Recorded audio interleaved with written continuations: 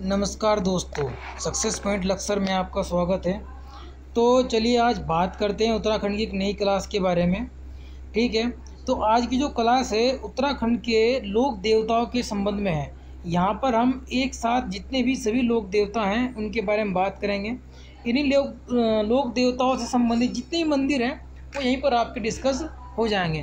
तो जो बच्चे सीरियस हैं उत्तराखंड में अपनी आगे की तैयारी को लेकर के जिन्होंने सात सौ छियालीस पोस्ट भर रखी हैं, या आबकारी या परिवर्तन जो चाहते हैं कि हमारी तैयारी बरकरार रहे तो चीज़ों को नोट कर सकते हैं। अन्यथा जो नहीं करना चाहते, उनके लिए मैं, मेरे पास कोई भी शब्द नहीं है।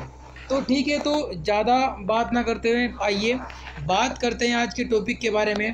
तो आज का जो टॉपिक है, वो है उत्तराखंड के लोक देवता। तो पहला जो इसमें लोक देवता है, उसका नाम है अकीतरी लोक देवता। ये पाया जाता है कहाँ पर? ये आपका जनजातीय क्षेत्र रवाई जौनपुर में पाया जाता है। आप सभी को पता है कि जो रवाई घाटी है, वो टिहरी गढ़वाल और एक उत्तरकाशी में भी पड़ती है। जौनपुर जो आपका क्षेत्र है, वो टिहरी गढ़वाल में पड़ता है। भेड़पाल को द्वारा ये पूजित एक लोक देवता है, ठीक है? इस देवता को क्या बोलते हैं? भेड़ों का रखवाला। और उत्तराखंड की यदि लेवल की बात करें तो यहाँ पर कोई भी एक ऑथेंटिक चीज़ें नहीं है। वो कुछ भी पूछ सकता है, पूछ सकता है कि भेड़ों का रखवाला किस देवता को माना जाता है? तो सभी चीज़ें आपको कंठस्थ करके चलनी है। सभी चीज़ों को एक बार आपको पढ़ना है। यहाँ से पहले भी क्वेश्चन पूछे गए हैं लोक देवताओं से संबंधित। जैसे कि एडी देवता पूछा जा चुका है, जो आपका लोक देवता है, गोलू देवता कई बार पेपर में आया है। तो यहाँ से हम आपको लोक देवताओं के बारे में जानकारी देंगे। ठीक है? तो आगे पढ़ते हैं। अक्षय तृतीया के दिन तो है, रवाई जौनपुर सीमा के जंगल में इस देवता की क्या सामूहिक पूजा होती है? तो आगे नेक्स्ट जो आपका लोक देवता है वो अगस्त मुनि। अगस्त मुनि, पौराणिक ऋषि अगस्त्य की पूजा रुद्रप्रयाग जनपद के तल्ला नागपुर क्षेत्र में लोक देवता के रूप में की जाती है। तो अगस्त मुनि जो लोक देवता है, उसकी पूजा रुद्रप्रयाग में की जाती है।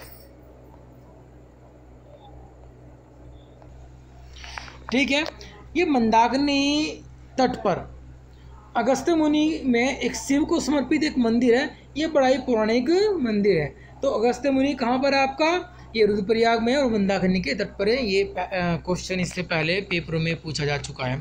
अटरिया देवी अटरिया देवी जो है वो आपका उद्धम सिंह नगर जनपद के जनजातीय लोगों द्वारा एक क्वेश्चन है कि उद्धम सिंह नगर में कौन सा जनजातीय समूह निवास करता है? तो बोक्सा। तो इस देवी का मंदिर जो है, मुख्यालय रुद्रपुर में बस अड्डे के निकट है। तो देखिए, यहाँ पर दो क्वेश्चन आपके बनते हैं। अटरिया देवी का जो मंदिर है, कहाँ? उधम सिंह नगर। किस जनजातीय समूह द्वारा पूजित है? आपका बोक्सा जनजाति द्वारा। और उधम सिंह नगर के किस स्थान पर है? रुद्रपुर में आपका ये पड़ता है। ठीक है? नेक्स्ट है आपका अन्यारी देवी।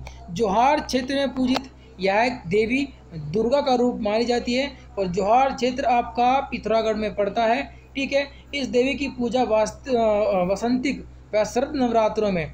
एक तो वसंत ऋतु में जो नवरात्र आते हैं और एक शरद ऋतु में जो नवरात्र आते हैं, अष्टमी को रात के अंधेरे में की जाती है। अन्यायी देवी या अंधेरी देवी भी इसको कहा जाता है, ठीक है?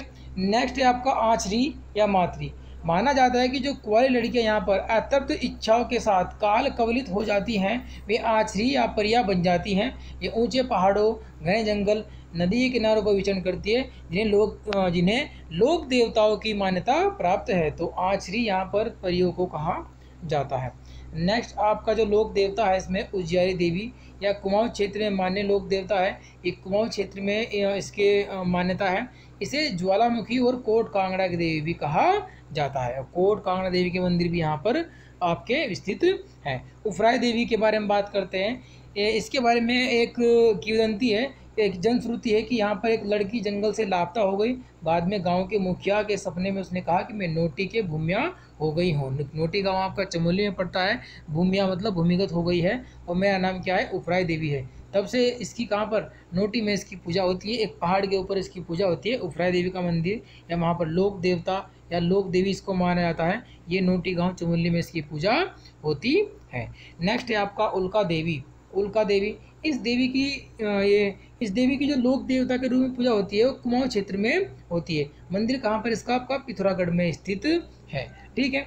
नेक्स्ट है आपका एडी देवता। ये, इससे पहले के पेपर में पूछा जा चुका है कि यह पूरे उत्तराखंड में पूजा जाने वाला एक लोक देवता है। इसको पूरा उत्तराखंड में मान्यता प्राप्त है। मुख्य रूप से यह पशुपालकों का देवता माना जाता है। मान्यता है कि यह घने जंगलों में उल्टे पाँव वाली आचरियों या परियों के साथ निवास करता है। ठीक है?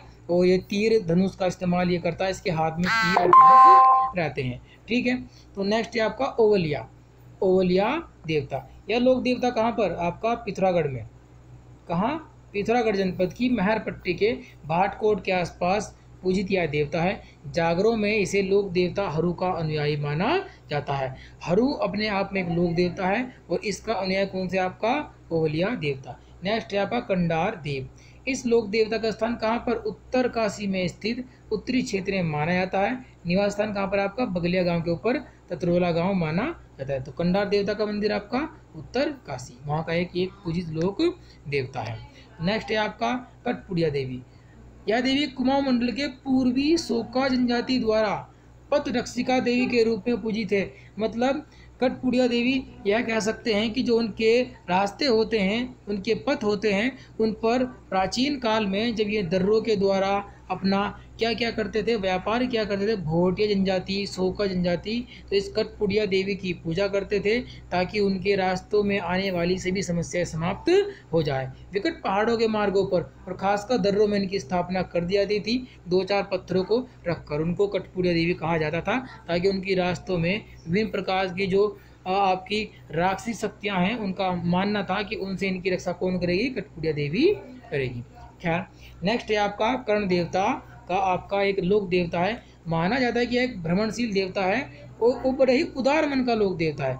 मूल स्थान यदि हम इसकी बात करते हैं, उत्तर काशी जनपद कहाँ? रवाई क्षेत्र के नेटवाड़ में है। उसके निकट एक गाँव पड़ता है, देवरा सिंहतूर। तो यहाँ पर कर्ण देवता का मूल स्थान माना जाता है। नेटवाड़ क्षेत्र के देवरा सिंहतूर गाँव में। नेक्स्ट लोक देवता है आपका कलविष्ट। यह भी कुमाऊं क्षेत्र में पूजित लोक देवता है। यहाँ पर किदंतियों के अनुसार या वहाँ के आम जो आपके जनमानस है, उनके अनुसार या बिंसर के निकट कत्यूरी गाँव का एक बड़ा ही वीर पुरुष था, जिस षड्यंत्र में मारा गया और मरने के पश्चात यहाँ प्रेतात्मा लोक देवता के रूप में पूजी जाने लगी। ठीक है तो उत्तराखंड में मान्यता है कि यदि कोई महान वीर मरता है या वो शहीद होता है तो उसको एक लोक देवता के रूप में पूजा जाता है। नेक्स्ट यहाँ पर आपका कलवा वीर यह संभवतः एक नाथपंथी था और जो अन्य कई नागपंथी संतों की तरह परोपकार कार्यों में लगा रहता था। बाद में से लोक देवता के रूप में पूजा जाने लगा। ठीक है?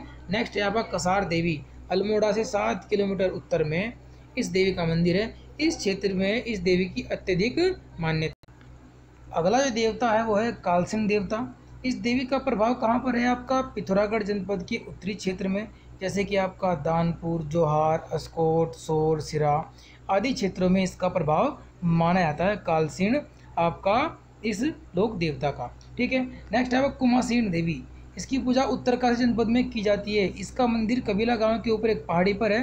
रुद्रप्रयाग जनपद के कुमेडी गाँव में भी किसका कुसमांडा देवी की पूजा कुमासेन के रूप में की जाती है। ठीक है? यहाँ पर दो चीज़ें हो गई।